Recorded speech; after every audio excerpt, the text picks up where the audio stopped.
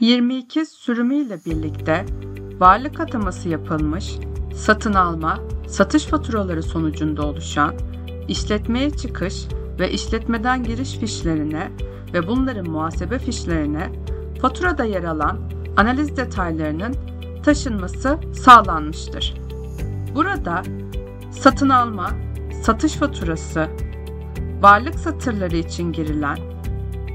analiz detayları bilgilerinin yine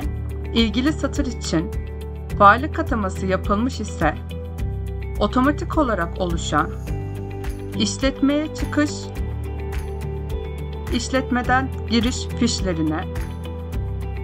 otomatik olarak aktarılması aynı zamanda bu fişlerin muhasebe fişlerine de yine otomatik olarak aktarılması sağlanmıştır.